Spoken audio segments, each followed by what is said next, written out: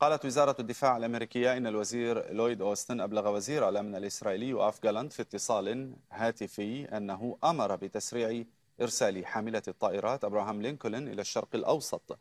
وأضاف البنتاغون أن أوستن أمر أيضا بإرسال غواصة الصواريخ الموجهة جورجيا إلى منطقة القيادة المركزية.